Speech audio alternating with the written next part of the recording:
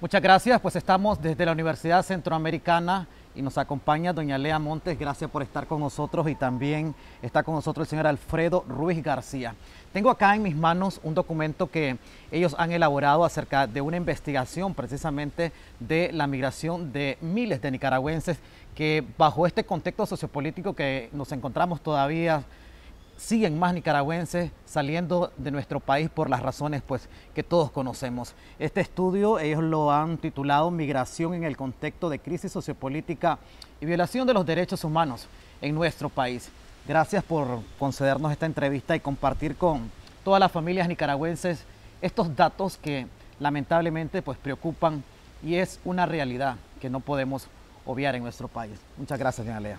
Muchas gracias Héctor, gracias por invitarnos siempre, ¿verdad? Y tenernos presentes. Yo quisiera eh, iniciar diciendo que el Servicio Jesuita a Migrantes de Nicaragua eh, ha hecho esta investigación siendo fiel a su misión, que es trabajar, proteger a los migrantes que este, tienen que salir de sus países, ¿verdad? A buscar otras alternativas para poder este, ayudar a la familia. Pero también nuestra misión es atender a toda la familia de esos migrantes que han tenido que salir en los distintos momentos, ¿verdad? Que este, han tenido que decidir la familia dejar el país. Esta investigación la hacemos en el marco de, eh, de este año 2018, queriendo eh, profundizar como siempre lo hemos hecho en los años anteriores, las causas de la migración. ¿Por qué la gente está saliendo? Porque nosotros como servicio jesuita planteamos de que la migración tiene unas causas y que tenemos siempre estar presentes e investigando las causas para poder aportar a la solución de esta. Y en ese marco nosotros hemos realizado esta investigación. ¿Cuáles han sido las causas principales? También vemos ahorita que hay este problema en nuestro país es lamentable ver cómo las familias también se han desunido precisamente. Y hoy en estos tiempos que estamos en diciembre, ya una semana de, la Navidad, es triste no ver a los nicaragüenses unidos, esas familias ahora, eh, el papá, el hijo por acá, o a veces familias enteras que tuvieron que dejar este suelo nicaragüense. Es sumamente triste. Nosotros este, hemos invitado al señor Alfredo Ruiz, que ha sido el que nos ha acompañado como investigador asociado del Servicio Jesuita para realizar esta investigación, para que nos comparta cuáles han sido los resultados. ¿Verdad? De, de, esta investigación que nosotros hemos hecho en el trabajo que nosotros directamente tenemos en dos municipios que es representativo, ¿verdad? Este, en todo el país, como son el municipio de Managua y el municipio de Chinandegui el Viejo. Realmente es doloroso, como bien lo has dicho vos, ¿verdad? Que muchas familias han tenido que dejar partir a sus hijos, pero ahora por condiciones distintas a las que normalmente están acostumbrados a hacerlo. Yo quisiera dejar a Alfredo para que nos cuente cuáles han sido los resultados, ¿verdad? de esta investigación que hemos hecho y que pueda este, visualizar un poco las causas de lo que las personas están identificando, ¿verdad?, ante este contexto que vive el país. Bueno, don Alfredo, muchas gracias. Antes los nicaragüenses tenían que este, mirar a otros países, como por ejemplo a Estados Unidos. Hoy vemos que más nicaragüenses van a Costa Rica por la situación que sigue en nuestro país. Antes lo hacían y lo hemos tenido presente siempre por razones económicas. Ahora hay otras razones. ¿Qué podemos destacar? Sí. Bueno, muchas muchas gracias Héctor por la invitación y a Lea. Eh, bueno, yo quisiera primero eh, mencionar de que la investigación que está en proceso es una investigación que se había definido en un contexto, eh, digamos, ajeno al contexto que se está que estamos viviendo en este momento. Esta investigación estaba ya definido como parte de la agenda de los trabajos que venía desarrollando el programa eh, del SJM.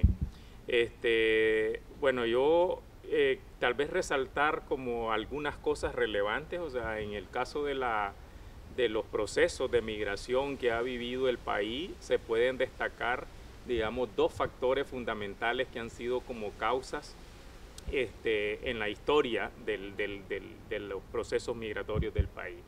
Una tiene que ver precisamente con lo que resaltabas, con lo que mencionabas, que eh, concebido como una como procesos migratorios eh, por razones laborales, ¿no? O sea, todo el tema del desempleo, de la pobreza, de los bajos salarios en nuestro país han sido como una causa sistemática de procesos de migración hacia otros países, ¿no? En el caso, ahora, también el país eh, eh, tiene como, como causas relevantes de los procesos migratorios los factores sociopolíticos. O sea, resulta que en el caso de Nicaragua eh, han habido dos oleadas migratorias que son explicadas no por razones laborales, sino por razones de conflicto sociopolítico.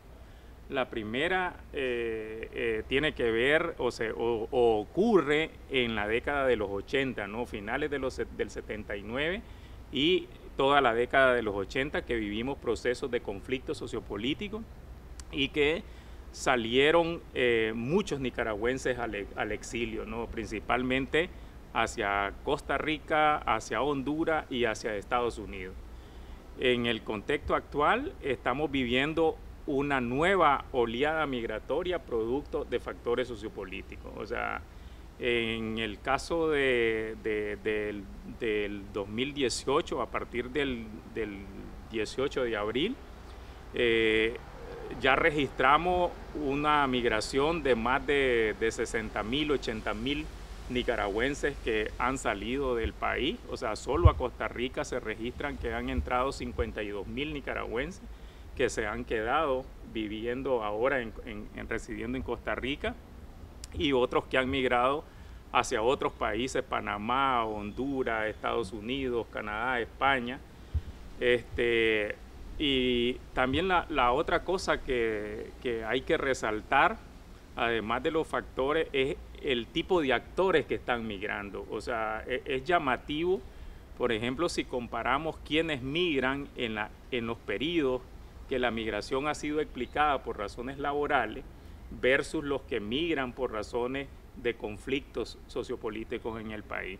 O sea, en, en las situaciones de migración, eh, laboral, generalmente las características de los migrantes son mucha población obrera, o sea, obreros del campo, obreros de la ciudad que tienen distintas ocupaciones como albañiles, carpinteros, artesanos, este, pero hay poca migración de estudiantes o profesionales. En el caso de los dos eh, procesos migratorios causados por razones sociopolíticas, una gran parte de la población eh, son profesionales o son jóvenes, eh, estudiantes en, el, contexto actual, muchos, más del 30% según nuestro, nuestra investigación han sido estudiantes y un porcentaje también de profesionales que han dejado sus trabajos o que antes estaban sin trabajo pero que han tenido que salir producto de la crisis. ¿no? Entonces, eh, sin embargo, hay un porcentaje también importante de, personas que se van que no estaban en, ese, en esa categoría. Son personas que, que se menciona que se fueron también porque la crisis afecta las oportunidades de empleo en el país.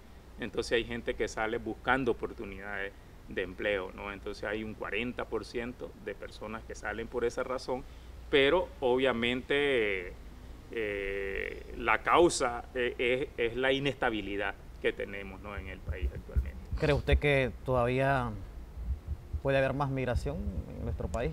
Yo creo, evidentemente, yo, creo que eh, la situación es tendencialmente a, profundizarse.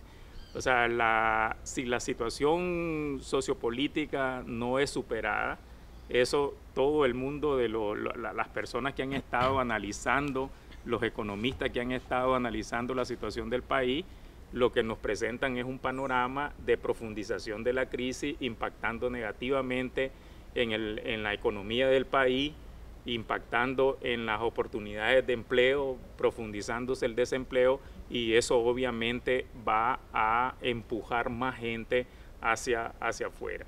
La otra, la otra razón es que todavía hay gente que no se siente, digamos, seguro, ¿no? O sea, hay gente que, que tiene temores o tiene incertidumbre fuerte sobre la situación del país. O sea, el estudio revela que hay mucha gente que eh, abandona el país, eh, no tanto porque se sienten directamente amenazados, pero que la incertidumbre que genera la situación del país eh, los obliga a tener que buscar una condición menos, o sea, una, una, condición más, más favorable, más tranquilo, donde puedan haber mejores oportunidades. Ok, muchas gracias por esta entrevista a ustedes dos. Vamos a estar pendientes una vez finalizado pues prácticamente todo este estudio, imagino que ustedes van a, darle más continuidad precisamente pues a este problema como ustedes lo han venido haciendo pues constantemente desde este trabajo del servicio jesuita a migrantes.